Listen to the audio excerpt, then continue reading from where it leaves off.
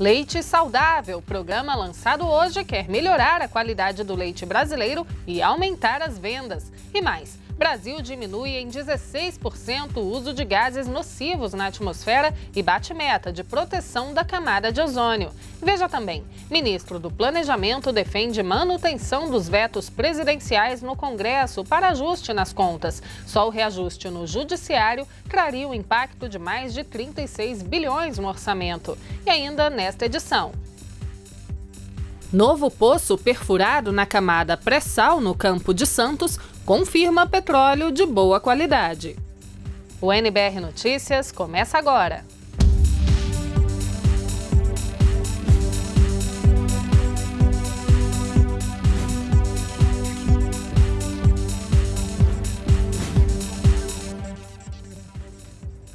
Olá, boa noite.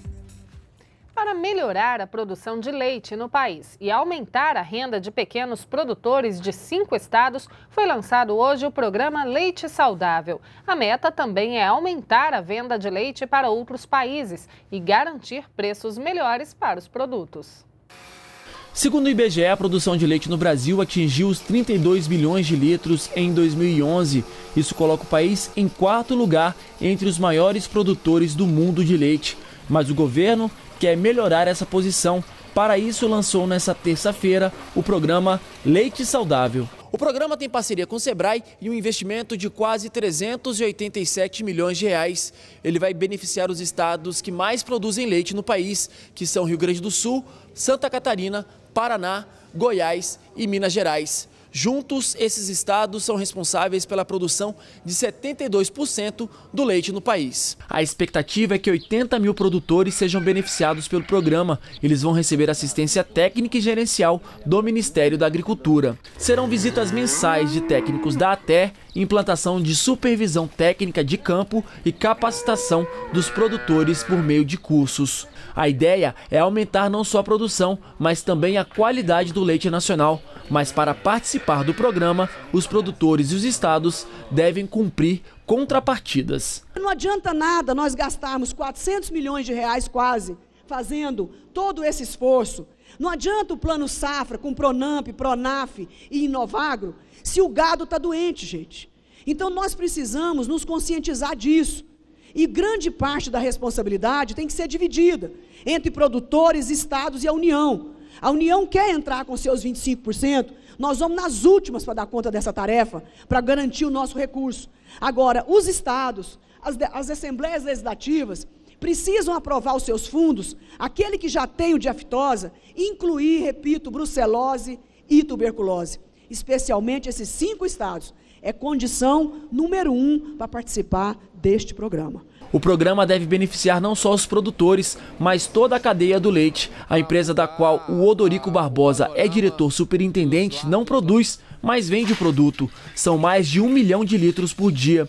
Ele explica que o programa é muito bem-vindo. Eu acho que vai ser um salto enorme que o Brasil não deu nos últimos 30 anos. Vai dar agora, a partir do, dessa pedra fundamental que é esse programa é, se inserindo nos países de maior produtividade mundial e qualidade, consequentemente passando a exportar é, lácteos para o mundo inteiro. Além da assistência técnica e ampliação do mercado, o programa Leite Saudável tem outros cinco eixos: melhoramento genético, política agrícola, sanidade animal, qualidade do leite, marco regulatório, e o Ministério da Agricultura quer também aumentar a participação do Brasil no mercado internacional, principalmente para a Rússia e China. A meta é triplicar a venda de leite para a China, que importa 14% da produção de leite mundial, e para a Rússia, que compra 7% do que se produz em todo o mundo. Todo produto que não é de exportação, ele é mais sensível à oscilação de preços. Então, a importância de ter aberto o mercado da China, a importância de ter aberto o mercado da Rússia, os dois países mais importantes em importações de produto lácteo no mundo, faz com que um ânimo cresça dentro de nós. Porque mesmo que a grande maioria não vá exportar, mas uma minoria que exporta pode fazer a diferença com relação ao, ao preço é, dentro do país. Até amanhã, o Amazonas realiza a sétima Conferência Estadual de Saúde, com o tema Saúde Pública de Qualidade para Cuidar Bem das Pessoas, Direito do Povo Brasileiro. O encontro reúne cerca de 600 delegados, eleitos nas etapas municipais. As conferências fazem parte da agenda da 15ª Conferência Nacional de Saúde, o maior evento do país na área, coordenado pelo Ministério da Saúde e pelo Conselho Nacional de Saúde. Garantir que os direitos da criança e do adolescente sejam cumpridos. Essa é a função do Conselho Tutelar, formado por representantes da comunidade que são escolhidos por meio de voto. As eleições dos novos conselheiros já estão chegando. Será no próximo, serão no próximo domingo com uma novidade. A votação vai ocorrer em todo o país e qualquer pessoa maior de 16 anos e que tenha título de eleitor pode participar. Falta de vaga na creche fez Maria das Dores procurar o Conselho Tutelar em João Pessoa, na Paraíba. O conselheiro nos ajuda, né? Ligando para a creche ou para a Secretaria de Educação para que consiga essa vaga. Para travar essa batalha, não tem jeito. É preciso compromisso, explica esse conselheiro. Ele é um porta-voz, ele está ele, ele tá dentro das comunidades, ele está ali é, vigilante na questão dos direitos da criança e do adolescente. Essa unidade do centro de Osasco, cidade da Grande São Paulo, tem cinco conselheiros. As situações mais comuns de atendimento são casos de violência sexual, maus tratos, negligência e uso de drogas, por exemplo. Que as famílias, quando chegam aqui, elas vêm já com essa situação posta, situação de sofrimento, de direito violado, tanto da criança como adolescente. Dentro desse comprometimento do conselheiro com o sigilo, com esse atendimento é, pessoal da família, da criança, né? tudo é feito de forma sigilosa e também em separado. A família ela procura conselho é, buscando uma solução para o problema. É, então, assim, nós somos o elo da sociedade com o poder público. Só aqui no conselho que atende a região do centro de Osasco são feitos entre 250 e 300 atendimentos todo mês. No dia 4 de outubro acontecem as eleições que vão escolher os conselheiros que vão atuar pelos próximos quatro anos, tanto aqui quanto nos quase 6 mil conselhos espalhados por todo o Brasil. É a primeira vez que a eleição acontece de forma unificada. Processo unificado, sem sombra de dúvida, é a possibilidade da gente sensibilizar a sociedade de uma maneira geral para que de fato ela tenha o um olhar de proteção integral para as crianças e para os adolescentes. A votação em data unificada foi estabelecida em 2012. Antes, cada município definia o formato e a data para a realização do processo de escolha. Qualquer cidadão maior de 16 anos e com título de eleitor pode participar da eleição. Para conhecer os candidatos e locais de votação, basta procurar o Conselho Municipal dos Direitos da Criança e do Adolescente. A unificação da eleição ela vem também para fortalecer os conselhos tutelares. No dia 4 de outubro, toda a sociedade brasileira, de forma espontânea, é facultativa, mas que toda a sociedade brasileira vá né, nos seus municípios, vá às escolas e vote nos seus conselheiros tutelares. Termina amanhã o prazo para o empregador parcelar ou pagar as dívidas previdenciárias do empregado doméstico. É o programa de recuperação previdenciária dos empregadores domésticos. As dívidas vencidas até 30 de abril de 2013, sejam do empregado ou do empregador, vão poder ser pagas à vista, com redução de 100% das multas. Elas também podem ser parceladas em até 12 vezes, mas nesse caso não haverá redução. Para mais informações, acesse receita.fazenda.gov.br. A reforma eleitoral foi sancionada pela presidenta Dilma Rousseff e publicada em edição extra do Diário Oficial da União de hoje. Da proposta, a presidenta vetou o financiamento privado de campanhas eleitorais e a medida que exigia que o voto de cada eleitor fosse impresso. E nesta tarde, o ministro do Planejamento, Nelson Barbosa, participou de uma audiência no Congresso Nacional, onde destacou as propostas para o orçamento do ano que vem. O ministro também falou sobre as ações de ajuste fiscal apresentadas pelo governo no início do mês. De acordo com Nelson Barbosa, a retomada do crescimento depende da aprovação de leis e da manutenção dos vetos que podem gerar impacto de mais de 47 bilhões de reais. Nós esperamos a manutenção dos vetos. Eu acho que já foi um sinal importante é, na semana passada os vetos que foram analisados, os 26 foram mantidos. Sabemos que agora tem mais seis vetos, que são vetos polêmicos, são vetos que têm opinião contrária de alguns setores, mas nós apresentamos todos os argumentos e nesse momento é muito importante que a gente aprove medidas na direção certa. E isso implica, nesse momento, manter os vetos que a presidente fez a essas medidas, porque isso significa menos necessidade de aumento de imposto ou de redução de gastos no futuro. É importante manter os vetos e depois aprovar as medidas necessárias para o reequilíbrio fiscal. O ministro Nelson Barbosa afirmou ainda que, apesar dos ajustes na economia, os programas sociais do governo estão mantidos. E hoje, o ministro da Fazenda, Joaquim Levi, reafirmou a importância do ajuste fiscal para o crescimento econômico do país. Ajuste fiscal abre espaço para os juros poderem cair naturalmente e aí também trabalha para você ter mais flexibilidade, para a pessoa poder investir com mais segurança. Aí o Brasil vai crescer e sem voo de galinha. É um projeto, como disse o presidente, um novo ciclo de desenvolvimento. Seis empresas já confirmaram a participação no Programa de Proteção ao Emprego e outras 27 estão em processo de adesão. Isso representa garantia de trabalho para quase 24 mil pessoas. O programa permite que a empresa reduza a jornada de trabalho de seus funcionários, com uma complementação da perda salarial pelo Fundo de Amparo ao Trabalhador.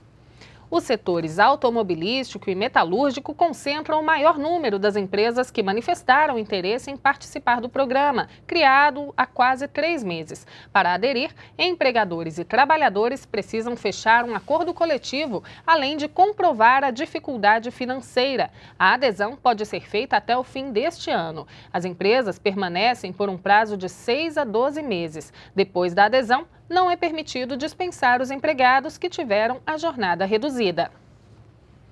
A perfuração de mais um poço nos reservatórios do pré-sal confirmou petróleo de boa qualidade na área de Carcará, na Bacia de Santos. Esse poço, conhecido como Carcará Noroeste, está situado logo abaixo da camada de sal, a partir de 5.870 metros de profundidade. Nos próximos dias serão avaliadas a produtividade de uma nova área prevista no plano de avaliação de descoberta. As operações estão previstas para acabar em março de 2018. Computadores quebrados que iriam para o lixo são consertados e doados para a comunidade. Ao mesmo tempo, estudantes aprendem, consertando esses equipamentos, uma nova profissão. Esse trabalho é feito pelos Centros de Recondicionamento de Computadores. Um edital lançado hoje vai destinar 12 milhões de reais para a criação de novos centros e a revitalização dos que já estão em funcionamento placas, monitores, fontes, além daquelas peças que às vezes a gente nem sabe o que quer dizer o nome: CPU, HD, cooler. Todas essas peças de computador não estavam funcionando direito, tinham que ser consertadas ou podiam ir parar no lixo. Por aqui, o pessoal coloca a mão na massa. E o reparo desses equipamentos é feito por jovens que estão aprendendo a fazer a manutenção de computadores durante cursos e oficinas de informática sob a supervisão de um professor. Depois de recuperados, os computadores são entregues para uso da comunidade em escolas, bibliotecas e ações de inclusão digital. Na prática, eu ensino os alunos a recondicionar computadores que provavelmente iriam para o lixo trocando processadores, trocando memória, tá sujo, limpa, tá com defeito, conserta. Então, eles aprendem de um tudo aqui. Ainda outros cursos de teoria e prática. O material que não dá para ser aproveitado vira artesanato, vai para oficinas de robótica ou para reciclagem. Evitar o desperdício, reaproveitar material para uso público, capacitar profissionais tudo isso é feito nesse centro de recondicionamento de computadores no Distrito Federal. Em oito anos de funcionamento, já foram recuperados e doados mais de 5 mil equipamentos e mais de 2 mil jovens foram capacitados. Muitos dos nossos alunos estão no mercado de trabalho, muitos já encontraram aqui no CRC a sua vocação para o mercado de TI e muitos já estão atuando no mercado. É o terceiro curso que eu faço aqui no CRC e eu pretendo, antes eu não gostava dessa área, mas depois que eu comecei a fazer aqui no CRC, eu vi que eu gostava dessa área. Ao todo, são cinco centros pelo país, além do Distrito Federal, em Minas Gerais, Pernambuco, Paraíba e Paraná. E para apoiar a estruturação e o funcionamento de espaços como esses, o Ministério das Comunicações lançou um edital para parcerias com entidades sem fins lucrativos e órgãos públicos. Cada selecionado poderá receber até 1 milhão e 200 mil reais para formar pelo menos 100 jovens e recondicionar 500 computadores por semestre. O nosso objetivo é cobrir o território nacional, né, tendo pelo menos um centro de recondicionamento por região. Se nós formos olhar regiões distantes, onde está o público do qual essa secretaria tem a missão de atender, que são populações vulneráveis economicamente e e colocadas em, em regiões muito distantes, aonde a conectividade ainda está com muita dificuldade para chegar, um computador significa muito. Então nós queremos é justamente facilitar com que esses centros ofereçam essas máquinas recondicionadas, é, reprogramadas, para que essa população possa sim ter acesso a, a ao, ao, mundo da internet. A ideia é que os recursos do edital permitam que cerca de 20 mil computadores sejam recuperados, 4 mil pessoas capacitadas e 260 toneladas de material eletrônico reaproveitadas. E os interessados em participar do edital devem se inscrever até o dia 6 de outubro pela internet. O endereço é www.convênios.gov.br. O resultado final deve ser divulgado no dia 20 de novembro. O Brasil diminuiu em 16% o uso de gases nocivos à atmosfera. Com isso, bateu a meta de redução estabelecida no Protocolo de Montreal, assinado por 197 países para a proteção da camada de ozônio. Tá vendo essas manoplas do câmbio de veículos e também essas peças que são usadas nos braços de esteiras de ginástica? São exemplos de produtos feitos com poliuretano. Não dá para mostrar, mas um gás que expande o material é colocado nessa massa para que o produto se encaixe direitinho nos moldes. Em pouco tempo, o plástico ganha volume e fica mais duro, como dá para perceber nesse teste. O hidroclorofluorcarbono, ou HCFC, é um dos gases mais utilizados para fazer essa mágica. O problema é que ele prejudica a camada de ozônio, uma espécie de escudo que protege o planeta da radiação ultravioleta do tipo B. Esses raios são uma das causas do desenvolvimento de câncer de pele, danos à visão e envelhecimento precoce, por exemplo. Essa empresa aqui de Guarulhos trabalha na fabricação de peças de poliuretano, que é um tipo de plástico para o setor automobilístico. É o caso dessa manopla de câmbio. Antes usava o HCFC para expandir a espuma dentro desses moldes. Agora substituiu por um outro gás, o metilau, que tem o mesmo efeito, mas é menos nocivo ao meio ambiente. Nós tivemos um apoio financeiro tá, do, do, governo e com esses recursos nós conseguimos fazer toda a substituição e adequação da planta para receber o, o novo agente expansor. O Brasil reduziu em 16% o consumo de hidroclorofluorcarbono comparado à média de 2009 e 2010 superou a meta estabelecida pelo Protocolo de Montreal, assinado por 197 países, que era diminuir o consumo desse tipo de gás nas nações em desenvolvimento em 10% até 2015. O Brasil está sendo utilizado como exemplo para outros países em desenvolvimento. Olha, o programa brasileiro foi, tem sido um grande sucesso. Outros países podem seguir os nossos caminhos. O Programa Brasileiro de Eliminação dos Hidroclorofluorcarbonos prevê até 2020 investimento de 160 milhões de reais em busca de alternativas sustentáveis. Nos últimos três anos, o país deixou de emitir 220 toneladas desses gases nocivos, quase 169 toneladas no setor de espumas e 51 toneladas e meia no setor de refrigeração. Até 2020, o Ministério do Meio Ambiente planeja finalizar a substituição dos gases no setor de espumas e iniciar a conversão de parte do setor de refrigeração comercial e de aparelhos de ar-condicionado. Não é impor um custo novo ao setor privado, através da parceria, o setor privado se dá conta de que é importante, sim, como nós trouxemos essas novas possibilidades de inovação tecnológica, houve interesse total do setor privado se engajar e ajudar na questão ambiental do planeta. E quando o assunto é diminuir a emissão de gases poluentes, o Brasil pretende assumir novas metas ainda neste ano. A presidenta Dilma Rousseff anunciou no último domingo, na cúpula da ONU sobre desenvolvimento sustentável em Nova York, que o país pretende reduzir em 43% a emissão de gases do efeito estufa na atmosfera até 2030. A proposta vai ser levada à cúpula do clima de Paris, a COP21, em dezembro.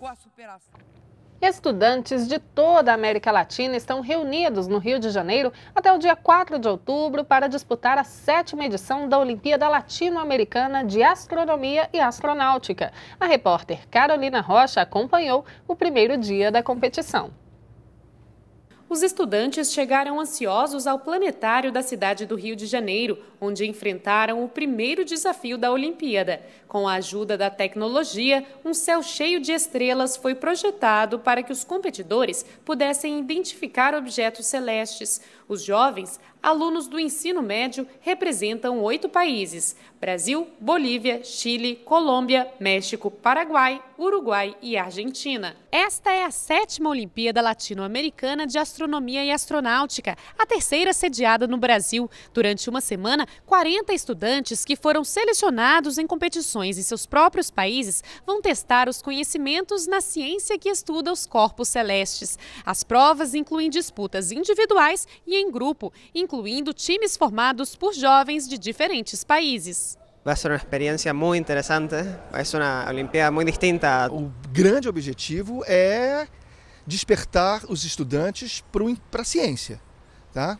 É, fazer com que eles se interessem pelas ciências, astronomia, física. Eles já são estudantes, eles já, já são estudiosos, já são alunos estudiosos mas e o intercâmbio entre os estudantes dos diversos países que participam. É importante que esses alunos saibam que o Brasil tem uma astronomia bastante desenvolvida e oferta de bolsas de estudo para que eles venham aqui fazer seus doutorados, retornem aos seus países e colaborem com a divulgação da astronomia nos seus países.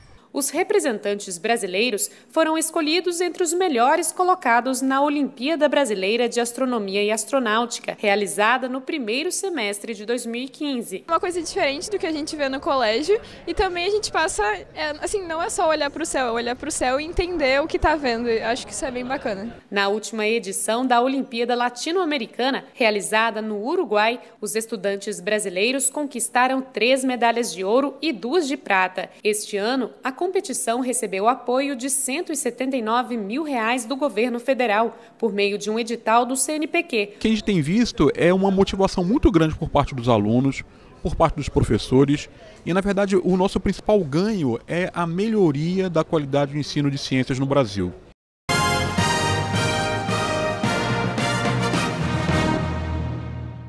As obras do circuito de canoagem no Complexo Esportivo Deodoro, no Rio de Janeiro, estão quase concluídas. 100% do investimento é do governo federal. E o local que será usado nos Jogos Olímpicos e Paralímpicos Rio 2016 também vai funcionar como um grande parque para os moradores e turistas.